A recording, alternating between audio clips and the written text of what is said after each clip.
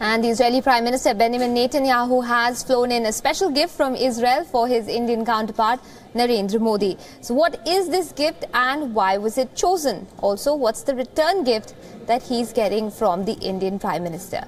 Here's more.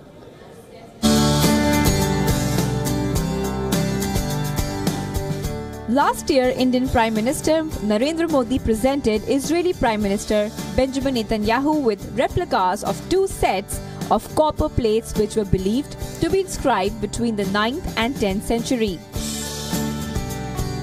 Now, the Israeli Prime Minister has a rather more modern gift from the 21st century for Modi, and it is this Jeep.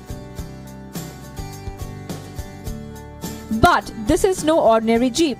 It's a water desalination and purification vehicle called Galmobile, which cleans dirty or salty water for human consumption anywhere, anytime. Uh, experimenting the Galmobile um, desalinating and water purifying um, uh, vehicle. Uh, minutes later, I said goodbye to the vehicle because we have a vehicle that came here a couple of days ago, and it will be uh, part and will, it will be gifted to uh, Prime Minister uh, Modi. We just uh, took it out of the customs yesterday. We are sending it to Gujarat, and I think this uh, will be a wonderful, wonderful um, continuity of what started on the beach near Tel Aviv. This vehicle is not unfamiliar to Modi.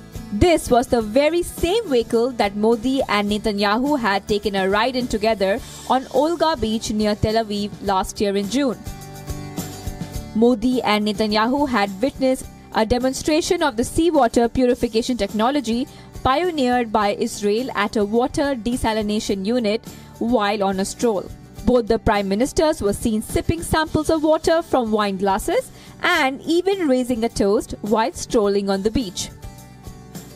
So, what is so special about this Jeep that the Israeli Prime Minister will be gifting it to his counterpart? Last year, after riding on the Galmobile, Modi seemed very impressed with the technology. He reacted by saying, I am thankful to Bibi because the vehicle which I saw today, particularly during a natural calamity when people are suffering from shortage of drinking water, can provide drinking water. The Galmobile is an all-in-one system that can source, treat, store and distribute water. It can connect to any possible source whether rivers, brackish water or wells.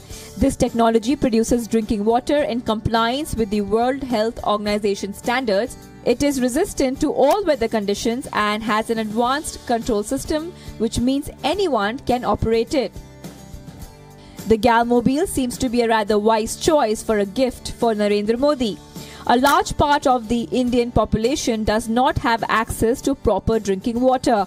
And with a steadily increasing population that will reach an estimated 1.7 billion by 2050, there is a dire need to find ways to provide clean drinking water for everyone. And Galmobile, like technology, can be a huge help to India, especially since the country has a large part of its borders linked to seas and oceans. Shivangi Shukla for WION.